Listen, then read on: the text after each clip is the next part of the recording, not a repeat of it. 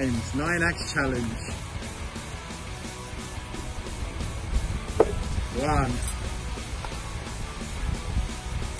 Two. Three.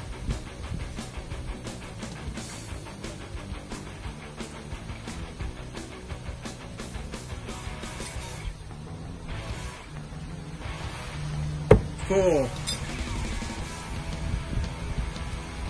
Five. Six.